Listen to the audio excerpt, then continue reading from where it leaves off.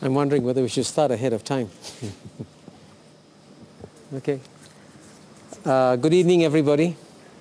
Uh, my name is uh, Kishore Mahbubani. I'm the Dean of the Lee Kuan Yew School of Public Policy at the National University of Singapore. And I'm sure the first question in your mind is, why is this man from Singapore chairing a forum on the future of American power? I, guess, I think Davos wants to prove that occasionally he makes mistakes. uh, anyway, it's a great pleasure to welcome you because we are addressing an extremely uh, important topic today. Um, what I propose to do is just let you know quickly that I, I'm just a traffic cop. Uh, I will make a few brief introductory comments and then I'll pose maybe one or two rounds of questions to this very distinguished panel that I'll introduce in a minute and then we'll throw the floor open for questions from the floor. And I hope you were all ready for some good, hard, uh, tough questions because the tougher the question, the better the discussion. And I'm sure the panel will be very happy to have the tough questions. So let me, let me begin in a kind of a stage setting kind of way, make three broad points. The first point, of course, the obvious point is that in some ways, the question of the future of American power the 21st century is probably the most important question of the day. Because if you look at how the 20th century evolved, much of it was, you know, was driven by American power. The whole history of the 20th century was driven by American power. And of course there are debates, was it good, was it bad? But in many parts of the world, it was viewed as very benign. In fact, just yesterday, in fact, right on this stage, if I'm not mistaken, uh, Fareed Zakaria was interviewing the Prime Minister of Singapore 24 hours ago. And the Prime Minister of Singapore said, as a matter of fact, that the American power in the Asia Pacific has been extremely benign and frankly, it could even serve as a model for China at some point in time. And so that's the first reason why this panel is, is so important.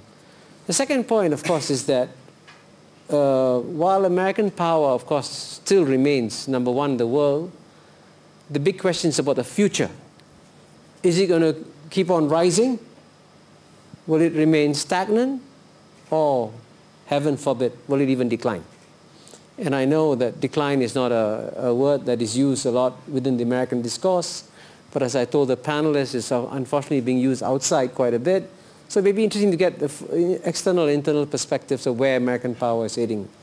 And the third point I want to make is that, and in that sense, is really we're really fortunate to have this distinguished panel here, is that as you know, within America, uh, the political system, let me try and put this very gently, has become quite polarized.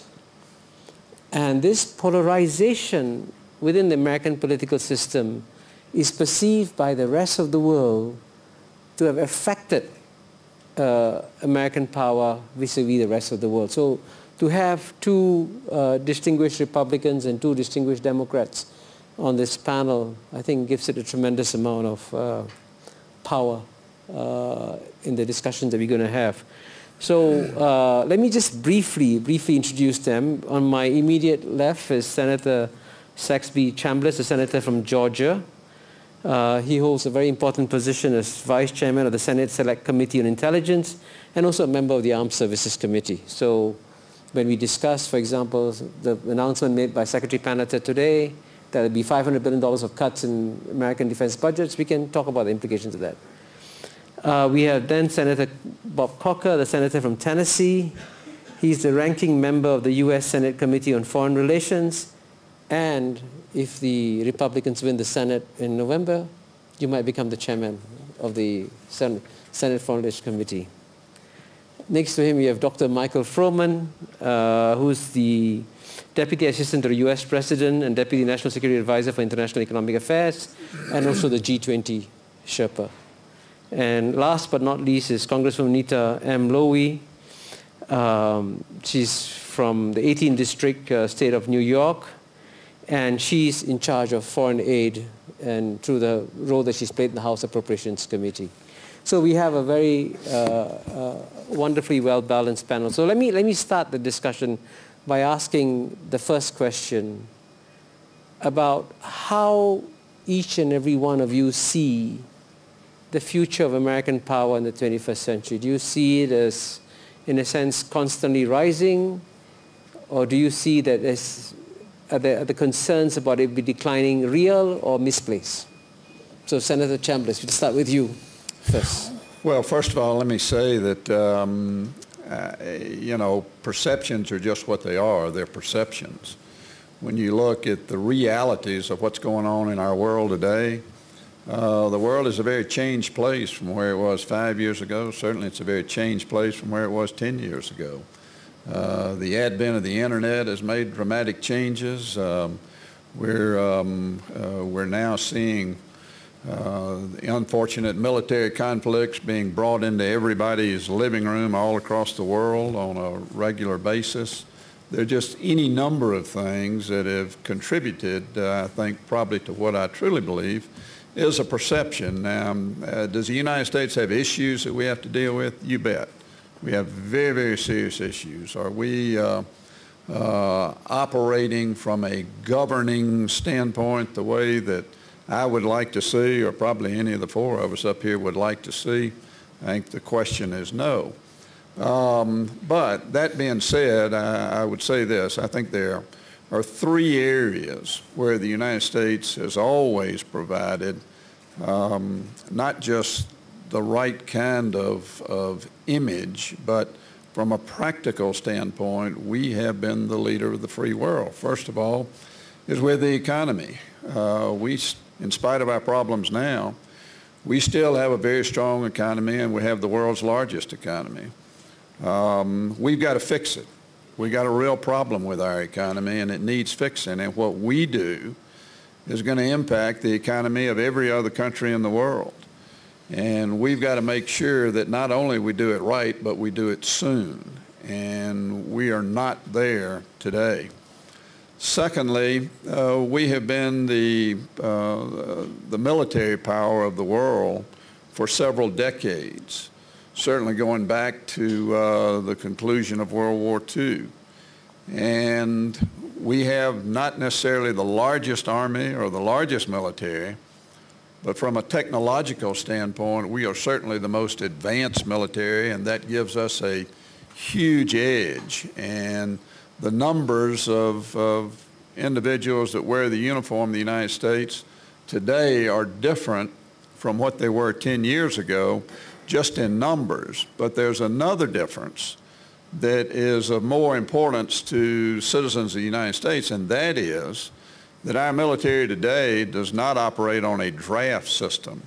Every, every young person coming into or coming out of school used to have to go into the military unless you had a fiscal reason why you couldn't. Today, our military is an all-volunteer military, which means that the men and women that wear the uniform of the United States of America are there because they're patriotic, they want to be there.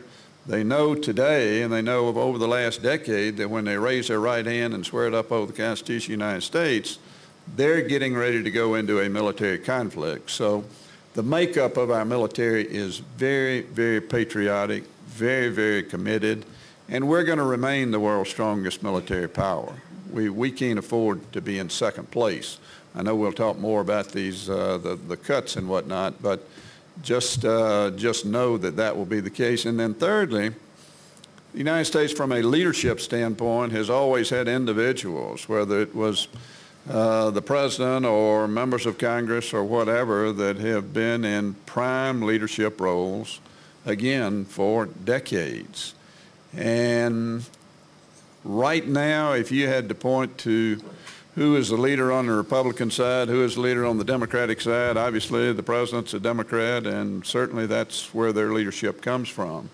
On the Republican side, it's probably a little bit of a mixed bag because we have control of the House and we have a speaker there. He's a logical, maybe the the uh, leader of the Republicans. Uh, we're in the minority on the Senate side. The minority leader is in a leadership role. Is he the guy that is leading the Republicans? Well, if you watch presidential debates, uh, you know, you, you'll get a mixed bag of all of that too. But I think the fact is that America has not provided the right kind of leadership on world issues over the last several years, and I'm not just referring to this administration, But I think that we've got to step up our game there. We ought not to have to have a president who um, um, feels compelled for whatever reason to go around the world and apologize for acts of the United States. Uh, was a little bit uh, infuriating to a number of us. Uh, so uh, from the standpoint of where we're going to be, um, from an economic standpoint, we're going to rebound. From a military standpoint, we'll always be the world's strongest military. From a leadership standpoint, I'm confident that we'll continue to provide the world with the right kind of leaders that exhibit hmm. true leadership worldwide. Well, I must say thank you for that very careful, nuanced presentation pointing out both the strengths and weaknesses and challenges. So I'm going to turn to the Democrat now. We agreed that we would alternate. So Congressman Lowey, would you like to give your perspective on how you see American power in the 21st century? Certainly, um, and I thank uh, the World Economic Forum for holding this session. I've been very pleased to serve on the State Department Foreign Operations Appropriations Committee. And when the Democrats are in charge, I was chair of the committee. Now Kay Granger is chair of the committee. And for those of you who haven't seen the article, The Odd Couple, it stressed the two Democrats that get along. And frankly, I was very pleased during the appropriations process that we were able to turn out a very strong bill. George Bush made it very clear that our national security depends on defense, diplomacy, and development. And I do believe that this bill that we produced does reflect our strong leadership in the world now and commits to our strong leadership in the future. And I am very pleased with the leadership of our president internationally. And if you've ever traveled with Secretary of State Hillary Clinton, as I have, if I didn't want to undermine her seriousness, I would say that she is a rock star and has the respect of all with whom she meets. I don't think there's a place that she hasn't traveled, and I would dare say the same for Vice President Biden. Now, I'd like to add one other dimension to this. Number one, we have to keep strong, and even though there are proposed cuts, there is no question for those of us who have looked at the defense budget, my colleagues on the Senate side would say, and I'm not going to go back to the $600 toilet seat, it's too serious an mm. issue, that there are places that can be cut carefully with discretion and maintain our strength. And certainly with regard to the foreign aid budget, we are providing very careful oversight because we know how important it is to spend our dollars wisely. I'd like to mention another area which I think is absolutely essential when you talk about American power in the world. Senator Chambliss talked about the economy. What we do with our infrastructure, what we do with our educational system, how we train our people for the future. We import many students from all over the world to our university system, and we're very proud of that. But I do think that we have to do a lot more within our elementary and high school systems to maintain our power and our status in the world. I was saying to our distinguished moderator, some of you may know Scarsdale, New York, we're doing Singapore math in Scarsdale, New York. And we had a discussion before this panel began about education in Singapore. So I'd like to just say that I have a great deal of confidence that American power, American respect in the world will be maintained. And I'd like to sum up not just with our military, because I do believe that our military will maintain the edge and will be a leader in the world, but I do think we have to continue to invest in our diplomacy and our foreign aid programs as well.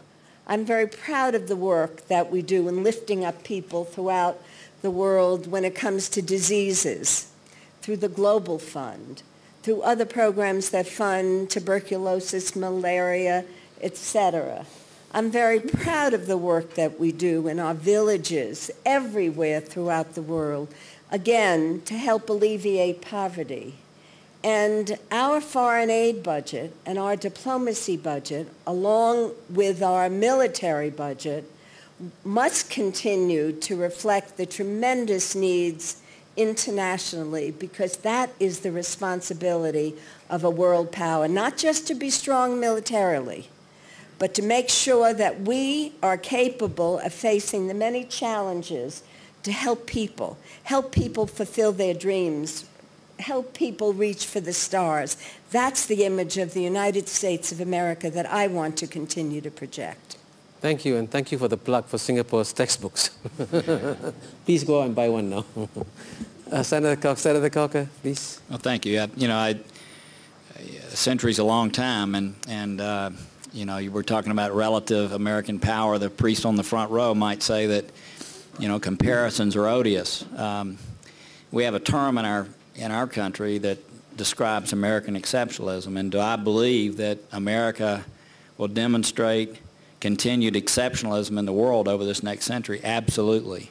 Um, I do. Your question, uh, your comment regarding the third item, and that is where we are politically, no doubt is affecting us in the short term. I mean, we as a country are faced with the same challenges that so many Western democracies are facing right now, and that is we've had politicians on both sides of the aisle for decades that have made commitments to citizens uh, that cannot be honored.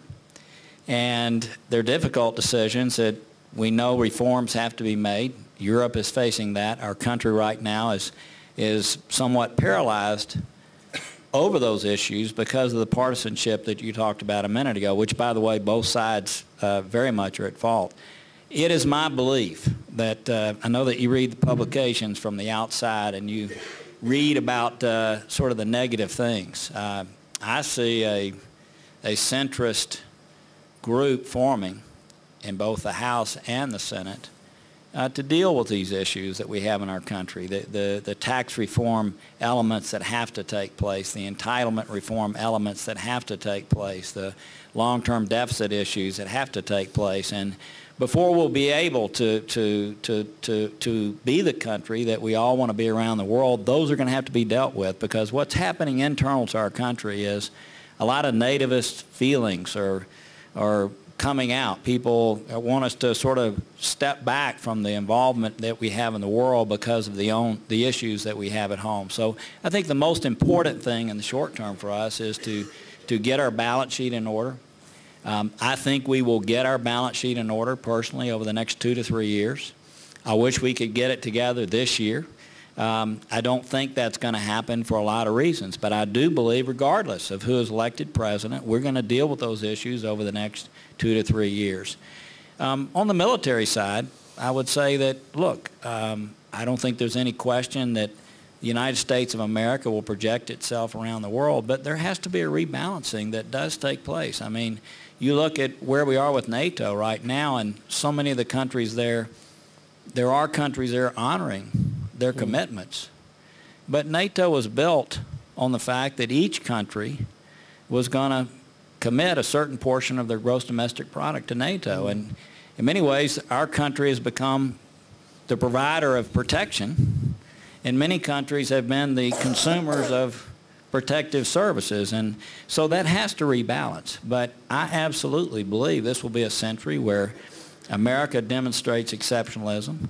There's no doubt there will be economies that just due to demographics are going to be different relative to ours. You look at countries with a billion people that are growing rapidly, that's going to change.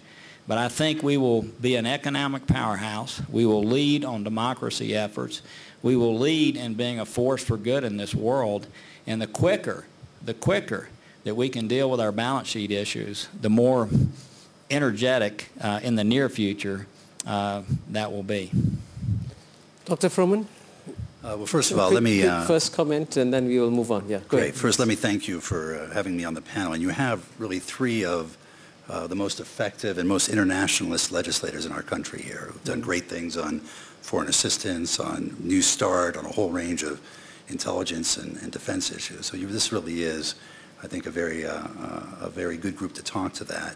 Um, let me just say a few things. One, when President Obama came into office, uh, he set out as his top priority to restore America's reputation and to strengthen its influence around the world. And that had many parts to it.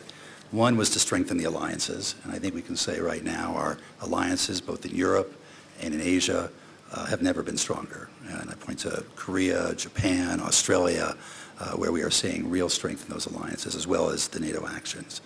Two, that it was critically important to get the great power relationships right. That if you don't have Russia and China in a, in a good place in your relationships, it's very hard to get anything else done. And that's what the restart was about. That's what engagement with China was about. And that's what allowed us, I think, to work very collaboratively, including through the UN Security Council, on issues like Iran and North Korea, and to build a coalition globally to address those issues. Uh, third, there was a desire to, to do a strategic rebalancing. Um, for obvious reasons, there had been a great focus on Iraq and Afghanistan uh, previously, and there was a desire to re-engage with Asia, which we see as the fastest growing region for our economic potential, but also a, a region that's incredibly important to us uh, strategically. Uh, fourth, we set out to reform elements of the international architecture precisely because having a rules-based system that reflects our values as well as our interests is our most effective way to exert influence over the long run. And things like the creation of the G20 or the institutionalization of it as the premier forum for international economic cooperation, or the President's engagement with the East Asia Summit are just two examples of how we've tried to build, or the Trans-Pacific Partnership, examples of how we've tried to build rules-based architecture to reflect the new realities of the, uh, of the global system. And finally, uh, none of this could be done without solving our economic problems at home. And that had to be dealt with proactively and forthrightly in the midst of the crisis in 2009 uh, through very difficult political steps like TARP and recapitalizing the banks and things that were not popular politically, um, but also to promote growth and to commit to rebalancing our fiscal situation, consolidating our fiscal consolidation, our situation over the medium term. And let me just conclude with that because I think what's remarkable about what you've heard so far is how much convergence there really is between Republicans and Democrats, uh, both on the nature of American power, the importance of projecting it going forward, and the importance of dealing with problems like the balance sheet that Senator Corker referred to. There is no disagreement between Republicans and Democrats on the importance of doing that. We may have differences on exactly the right balance between taxes and spending, uh, but there's no disagreement that that's what we must do as a nation, and I share his optimism that we will get there. Wonderful. Now, we have about 10 minutes in a panel discussion before we come to you on the floor. And so far, I've noticed everybody's been very good and restrained. Maybe I will make the discussion a bit more difficult by posing a very difficult question. And, you know, we're talking about American power in the 21st century. Let's say fast forward 10 years from now, and this is quite a possibility, judging by all estimates, Goldman Sachs and other estimates. In the year 2022, the World Bank announces that the country with the largest GNP is now China. In the same year, China announces that it's about to send a man or a woman to the moon. So it clearly has the most dynamic space exploration in the world and is then perceived by the rest of the world to be the number one power and United States would then be perceived to be the number two power. Now, how ready is the American population, you think, for such a kind of perception shift if it happens? I'm not saying it will happen, but if it happens, how ready are you? Well, thank goodness it's a hypothetical. Um, but it may be a bit more than a hypothetical. well, there's no question but what China is um, is progressing, and as their economy grows and ours um, uh, goes through this slow process, uh, it makes it easier for them to gain on us. Uh, I think the facts are, though, that even China is seeing a very slowdown of, of their growth economically right now. But um, I think um, uh, a couple of things have got to happen. I, I say this in my stump speech that I've been all over the country um, uh, talking about with respect to the budget and our, our deficit and our debt. That um, we've got a window of opportunity as the United States to fix our fiscal house. It's going to happen. Our, our fiscal house is going to get fixed. Now, we either take the initiative to do it on our own terms or those individuals or those countries that buy our bonds, and right now the Chinese are the largest foreign purchaser of U.S. bonds, they're going to dictate to us what we're going to do to fix it. So now is the opportunity for us to do that. But if we don't, then that scenario, Dean, very well could play out. Um, I think um, uh, America's not prepared to be in second place, uh, and Americans are not prepared to be in second place. So I think you're going to see um, a stronger economy develop over a period of uh, the next couple of years. I share the optimism of Bob and, and Mark, and, and uh, we're going to get there. Uh, we, we may have our differences of opinion of what, uh, what policies we ought to enact to get there, but we're going to get there. That's what politics is all about. That's what elections are all about. And irrespective of who's the next president in the White House, the current one or another one, um, there's going to be a rallying around the effort to get our fiscal house in order and not allow that scenario to happen. Great answer. Congressman Lowey. I agree with my colleague um, enthusiastically that we will get there. I think we may have differences as to approaches. I do believe that we have to deal with our long-term debt and our current deficit. But I also would agree with economists like Dr. Alan Blinder or Mark Zandi that at a time when the economy is weak, that we have to first invest here in our infrastructure, put people to work, and have a long-term plan to deal with the debt and the deficit we have to put people to work here in the, not, not here, we're here in Zurich. I'm mm-hmm. sure we want to put people to work here as well. Yeah, the Swiss but, can work harder too, you know. but I think it's essential to put people to work. Now, one of the challenges is, and in talking to my Chinese friends, they will admit that we have the creativity we produce Americans with extraordinary creativity. We can look at Apple, Google, etc. And they are extremely good at taking that creativity activity and do a super job of manufacturing and taking the business from us. The president addressed some of these issues in his State of the Union, and I know it's going to be a continuing debate. But I'm very proud of our creativity among our students and our workers. And the question is, how do you create the jobs at hmm. home? So I would, I would agree with my colleague that the debt, the deficit are serious issues. Mm. And we have to plan to do it with a seriousness of purpose. But right now, I am very concerned about jobs, investment in education, make sure we're training our workers for the jobs of the future. And I will put my faith in the creativity of the American people and look forward to positive dealing with the debt. But right now, mm. invest in our people. So you're still seeing America remaining number one then? Without a doubt. Okay. Senator Corker. I'm trying to see whether there'll be anybody who will say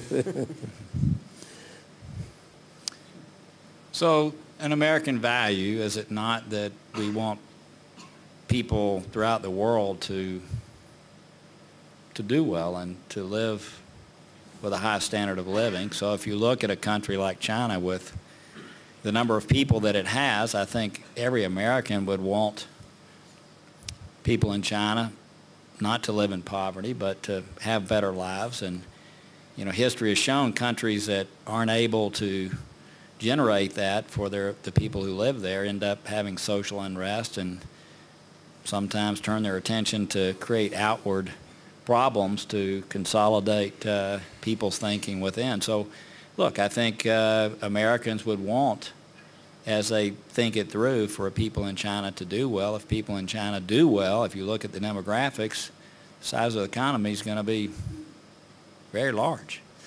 Uh, and so I think all of us can do the math. Uh, we all look at the growth rates, and uh, and yet I'll stop there because I'm not going to take your. Uh, I'm not going to bite at whatever it is you're trying to get me to bite at and tell you. But I, I'll, I'll agree with Saxby. The American people absolutely uh, are not, would not be prepared psychologically for an event uh, where the world began to believe that uh, it was not uh, the greatest power on earth. And should an economy end up being bigger than than uh, the American economy, my sense is that maybe a focus then would be uh, on the type of innovation, creativity. Um, you look at a Goldman Sachs type operation, just to use financial operations, versus some sluggish other kind of large bank that really, I mean, you might look at America in a different way, but uh, I don't want to look at it that way today. I'm not going to say that's the way it's going to be, but I will tell you that the American psychology certainly is not prepared uh, to deal with that.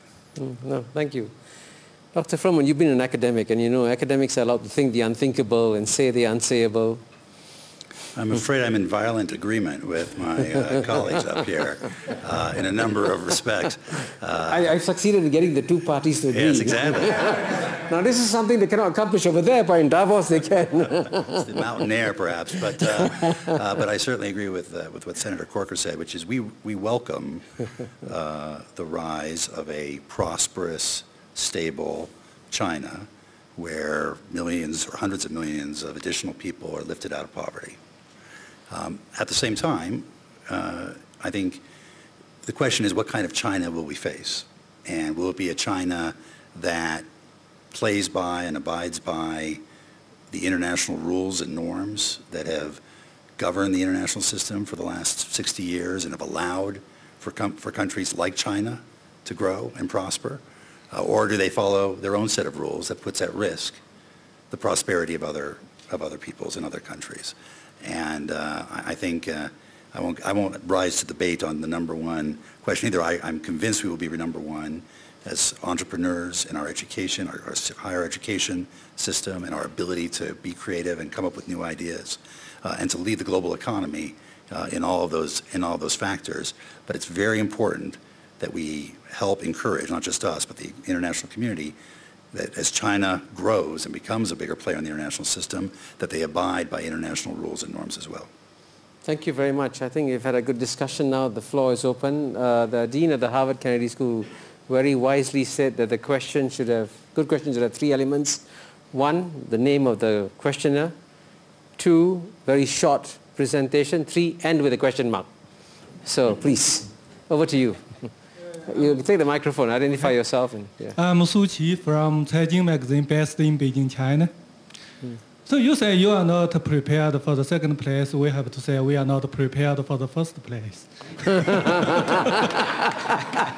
total volume of You're, the you're so modest, you know, you Chinese. the total volume of the make a good GDP in 10 years or so maybe we were alarming, but per capita GDP is low. And we are preoccupied with the division of the pie, with the social safety net, the poverty reduction. And without the U.S. policing, maybe it will all problematic for the energy security, food security, this kind of thing. Hmm. But we have to make some contributi- contributions to the global governance in case you say we are too selfish, making money at the hmm. expense of your policing efforts. Hmm. okay. So you don't have a question, it's a comment then. Okay, gentleman in the back there, please. Yes. Yes. Can, can I, just can I get a sense, how many questions out there roughly? One more here, two, three, okay, four. Great. Go ahead. Yeah. Your microphone is not working, I think. Just try.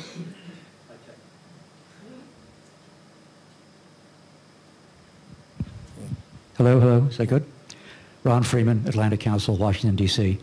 There's one area in which America is sadly first and likely to remain so, and that is the cost of health care per, per capita.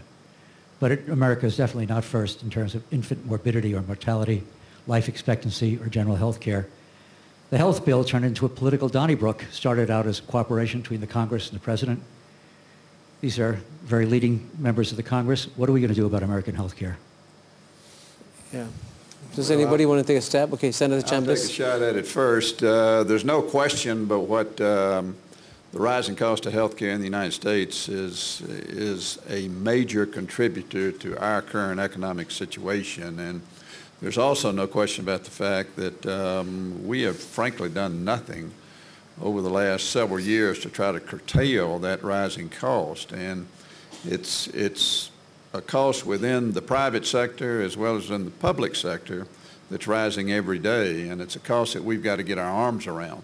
That being said, it is very difficult from a policymaking standpoint to enact measures to, let's say, um, reform Medicare. We have outside groups who, as soon as we use that term, reform Medicare, they go ballistic and say, well, you're going to cut Medicare. We, we're not going to cut Medicare. We can't cut Medicare. We, we owe it to people in the United States to, uh, to have that valuable program. But if we don't make the right kind of, of changes in this very valuable system, then the system's going broke and it's not going to be there. Uh, so it's, it's health, situa- health programs like that that have got to be addressed. Um, the other side of that is that Americans have gotten very spoiled because even though our health care costs are um, significantly higher percentage-wise than other industrialized countries, I would submit that the quality of health care that Americans get is unsurpassed in any other country in the world. There are some that uh, in some areas it may be equal, but overall um, Americans get very good quality health care. A lot of them don't have to pay for it. Um, that's probably going to have to change. There are individuals who uh, receive, whether it's Medicare or other health care benefits, that uh, are high income earners that may have to start putting a little more skin in the game. There are a number of ideas like this that are floating around in Congress right now, but there is a general agreement among Republicans and Democrats that we've got to make sure we protect this program for the long term. And that is a very, very difficult political thing to do, but it's got to be done. Now, I'll, I'll leave Obamacare to, uh, to Bob and the rest of the folks here. Okay, so Congressman Lowey, a short answer because I think we have lots of questions. I'll give a very short answer. Uh, with great respect for the senator, um, it took a while to pass the health care bill. A health care bill that 8 million federal employees have and all members of Congress have. And the pejorative is calling it Obamacare. I think we're really unfortunate. Most of us would not say it is perfect, but most of us would say let's amend it, let's make some changes in the health care bill. But it's taken a long time for the House and Senate to pass anything that approach universal care. So I personally would be happy to work with my good friend Senator Chambliss in all the issues he was talking about. But let's not try to repeal a bill that took so many years that is the kind of plan that 8 million, as I mentioned, healthcare workers and all of us have right now. Okay, thank you. Uh, let, let me just briefly, uh, we don't want to make this into a healthcare debate. yeah. But, but, and I'm not going to debate, I just make some quick points. Number one, um, obviously we don't know what's going to happen because we have a Supreme Court ruling that's going to occur this summer, a presidential race that will have an effect on all of this. You know, I'm not going to, it's going to have an effect. But what we've done in America is we've focused on access, which is very, very important. We have not focused on the quality side of it, and that takes long, tough work. You know, you need somebody at CMS for 20 years, if you will, to see through uh, the kind of changes that need to take place. Uh, one of the big frailties is this was a bill that 535 Congress people created. I mean, what a disaster, okay? I mean, there's no way that, that you can create something that doesn't have three or four focus points, and that's what this bill became. So my sense is that this bill will definitely evolve. There's no question. I don't think there's a thinking person in Washington that believes as constructed it will continue. I, I don't think there's anybody on either side of the aisle, but a big part of it will be determined this summer. But we as a country have placed our sole focus on access and not done the tough work that's necessary to, to focus on the quality that the gentleman just mentioned.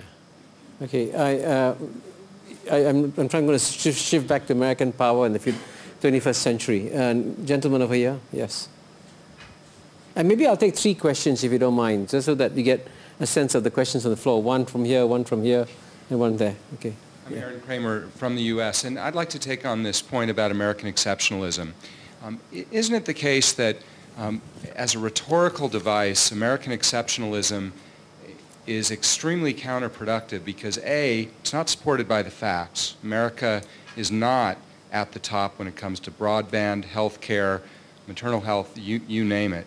Um, and doesn't it also really undermine debate and experimentation that we need by suggesting that the only good answers come from within the borders of the United States? I, I find that it's shutting off the American mind and, and therefore I feel that it's, it's cutting off opportunities to uh, improve our political debate. Okay, gentleman over here in front there. No, no, this, just, sorry. Yep. Sorry. Hi, I'm Rod Beckstrom, uh, CEO of ICANN Internet Corporation, for Assigned Names and Numbers, uh, a, a global inter internet coordination body. we look, we have a hard time foreseeing technology in a year or two or three, and it's obviously important for the world and the relationship of the world and uh, geopolitically. So I, my question for the panelists is, how do you see internet and the integration of humans through the internet changing where we are in 100 years, and, and won't that have a, a huge effect on this equation? Okay. Go ahead, then I'll come to you. Yeah. Hi, I'm David Beckman from Bread for the World in the U.S. Um, I'm actually really upbeat about the U.S. political process since the crisis, both Bush and Obama and both parties. I think you've done a pretty good job in the end, and I especially appreciate the fact that you haven't really whacked programs that help poor people including the international programs. And the four of you have all played important roles in, uh, in the governance of the last couple of years. The brinksmanship last year really did us a lot of damage. So I was interested in your comment, Senator Corker, about a growing centrist coalition. Um, I, am interested in where you see that happening. Yeah. Good. So, let me just uh, come to the last question over there. And I'm glad you posed the question to a specific senator or, or member of the panel. That makes it much easier for the responses, please. Hi, um, Ahmet Faralil from Turkey. Uh, you all seem to have a consensus on the fact that American, American military power should remain uh, the, the world's strongest military. Uh, I'm wondering what is the criteria the American government should use to use that military power anywhere around the world? Okay.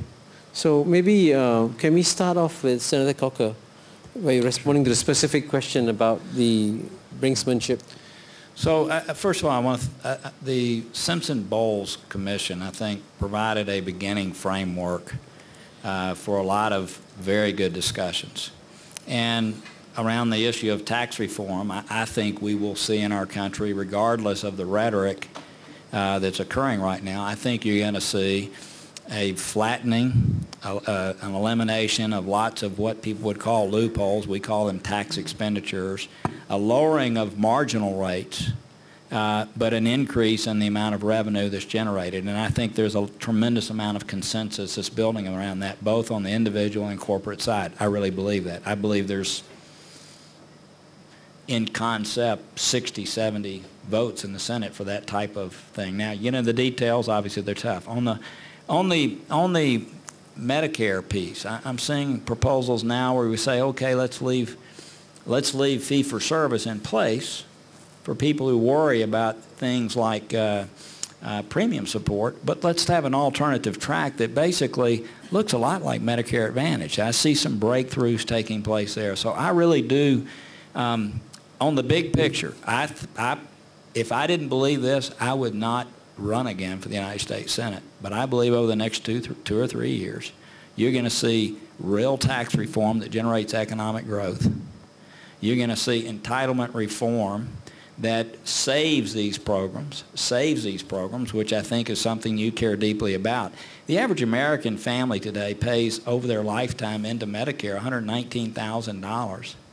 And the average American family when they begin receiving Medicare, takes out 357,000, and that formula is not one that's sustainable. So we've got to figure out a different way of making it work, especially for people without means. But I see, I see it, and I think we, I think we're very, very close. And I think regardless of who is president, you're going to see major tax reform, major entitlement reform, and as a result, long-term deficit reduction. I just believe it. Dr. Froman, can you respond to the question on American exceptionalism? Then I'll yeah, come to sure. I'd be happy to. Uh, look, I think I think we, I think I fundamentally disagree uh, with the with the premise of the question because I don't think American exceptionalism means uh, we have all the answers, we're always right, there's no debate, and we don't respect the views of others. Um, I think, in fact, what one of the parts of American exceptionalism is how self-critical we are and how open to debate we are internally about whether we're heading in the right direction or not and whether our values are lined up with our interests or not. I'm struck uh, that you know, we went through, frankly, a difficult period earlier this decade where there were a lot of people around the world who didn't like what the U.S. was doing in Iraq and didn't like the U.S. the position of the U.S. generally in, in, on world affairs. But I am struck that whether it's the G8 or the G20 or in travels around Asia or engagement in Africa or engagement in the Middle East, people want us there and they want our engagement and they, they value our values. And that's what American exceptionalism is. To me, to go back to, to our, chair, our, our moderator's opening point, uh, and it goes a little bit to the, the, uh, the, the, last question's point, uh, we are seen largely as benign, as keepers of the system. And we are constantly taking actions that we view, not that they're not in our interest, but are also in the interest of building a stronger, a fairer, a more just international system. And not every country does that in the world. And the U.S. does, whether it's Republican or Democratic administration. And I think that's what has held us well in terms of providing influence over the long run. Okay, Congressman Lowey, you want to respond to the internet question? Yes, I want to um, be very brief because I know time. I agree with so much what Michael said. First of all, I want to say Bread for the World uh, reflects probably the very best of our non-governmental organizations, and I want to thank you. and I am proud that the U.S. government does support these organizations. This is a critical part of our outreach to the world to help lift people up. Secondly, I did want to respond to the Atlantic Council because many of us appreciate you and others who are always there to give us advice and support when we have to make difficult decisions. Now, to respond to the gentleman from Turkey, one of the things that I am most proud of in this administration is the leadership of President Obama and the Secretary and the Vice President in operating not solely as a unilateral country. We should be strong. I'm proud that we're strong, but reaching out to the UN, building coalitions, and addressing the many challenges, I would hope as I look forward, in a peaceful way.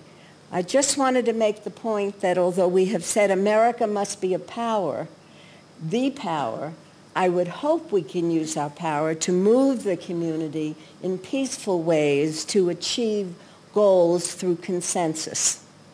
Okay, I think Senator Chambliss, as chairman of the Senate Armed Service Committee, why do you need the world's largest military?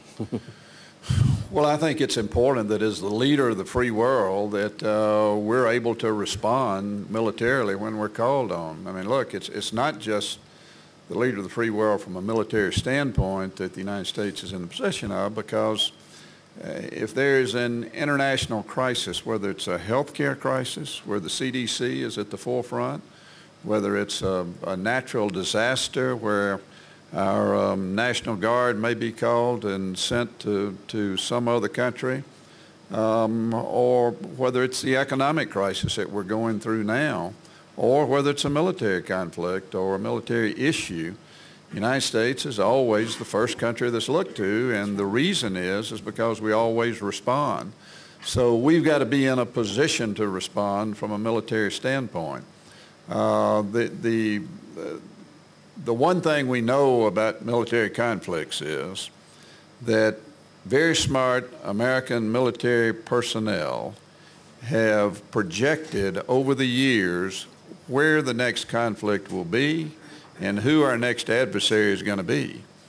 And we've been wrong 100% of the time. So what we have to do and why it's important that, that we remain a powerful military is that we know we're going to be called on to respond somewhere. But uh, who would have imagined 10 years ago that we'd be firing 50-pound Hellfire missiles uh, as a part of a military conflict and we could do it in such a precise way as what we're doing today? Uh, who could imagine that um, um, we would be in, in Afghanistan? Most Americans had not even heard of Afghanistan 15, 20 years ago.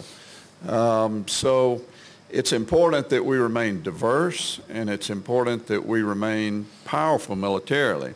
But Bob Corker made a very good point that, um, you know, we got a lot of friends, friends around the world, whether it's members of NATO or otherwise, who have provided military assistance in, in both Iraq and Afghanistan.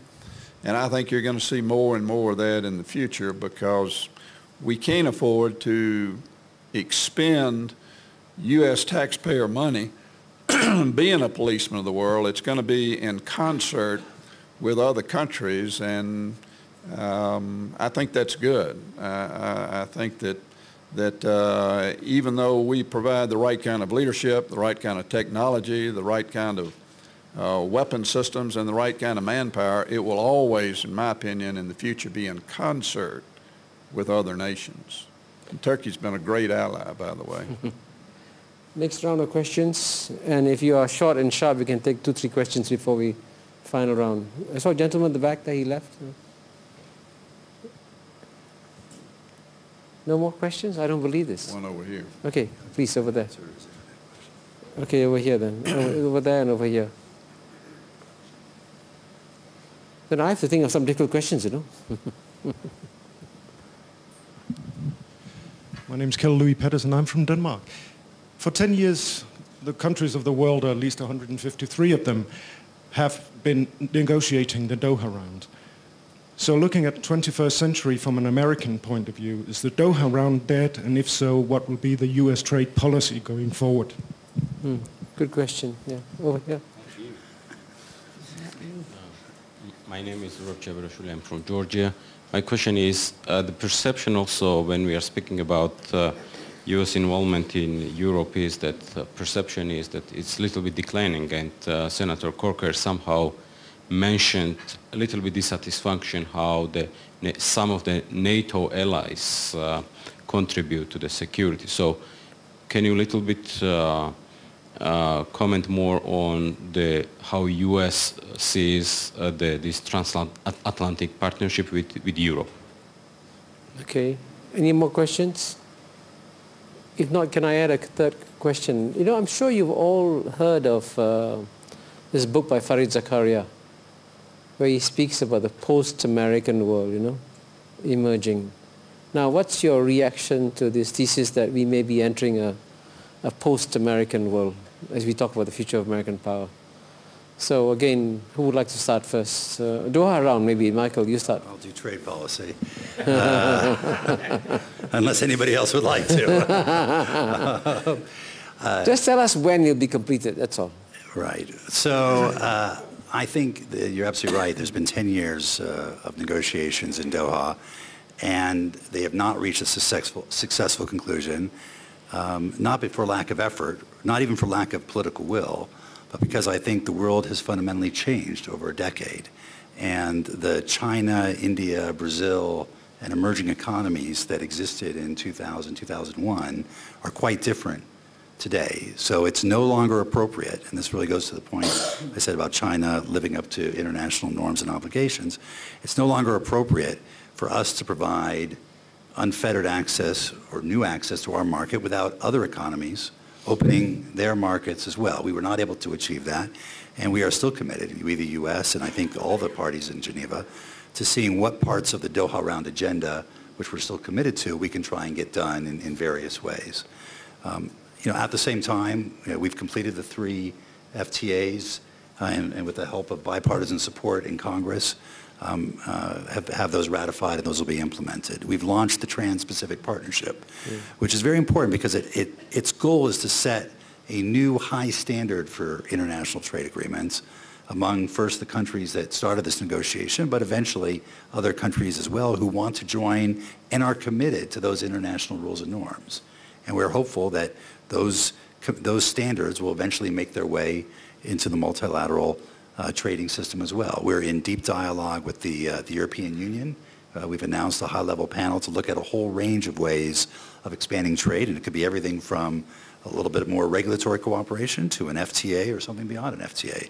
And we're in that, in that process of analysis now. And we're focused in Geneva on seeing what can get done both multilaterally, which is very important, but also uh, potentially plurilaterally. Yeah. Just so very quickly on Doha also, because I've been very much involved in that because of my former position as chairman of the Ag Committee. Obviously, there are three segments to the Doha round. You got the manufacturing sector, you've got the services sector and the agricultural sector. It was thought, the perception was there that ag was the one that was holding this up, but at the end of the day, it was the services sector that really caused the last negotiations to fall apart. Um, I'm sure that those negotiations under USTR uh, Ambassador Ron Kirk, who's a terrific uh, guy and very positively trade oriented, are going to resume. Uh, we're going to have a farm bill this year. We have talked within the ag community that we got to make sure it's WTO compliant. That answers the questions that the Doha round presented. Um, so hopefully um, uh, we'll have a, a um, at the end, if not this year, certainly within the next couple of years, we'll, we'll have an end to the Doha round. It'll be concluded positively. And do you want to respond quickly to the question he asked about NATO sure. and Sure. Um, I think I was the first elected official in the country of Georgia in Saakashvili's office after Russia. Y'all had a little skirmish recently, and and uh, um, my comments were meant and are about the fact that the relationship has got to be more robust than it is. Um, there is no question with the pressures that many of the European countries have had fiscally and and maybe for other reasons, NATO has become something different than I think originally envisioned. And my point is, is that that rebalancing, and I think Senator Chambliss alluded to that too, has got to change for, the, for there to really be a real robust relationship. Um, uh, it's been a little bit, not every country, but generally speaking, it's been too one-sided oriented towards the United States of America. For what it's worth, um, I thought the way the president handled Libya, I, I, first of all, I never thought Libya was in our national interest. I may uh, get some ire from the people here in the room. I, I didn't see that as necessarily being in our national interest. But if we were going to be there, I thought the way it was handled by the administration was far better than us taking the lead. Congressman Lowey, you want to touch the question about the post-American world? Or? I'd be delighted to respond to that. Um, I wish all the countries of the world strength, economic progress, progress in democracy, progress in human rights, giving each of their people the opportunity to live a good, complete life. And I would hope, I have not read the Fareed Zakaria book, I apologize. I would hope they can join us in being part of the international community, working through difficulties at the UN. And I am not ready to say, no, they cannot reach the level that we have achieved, but I wish all well and hope we can work together. Uh, Dr. Froman, do you want to add something to any of the questions?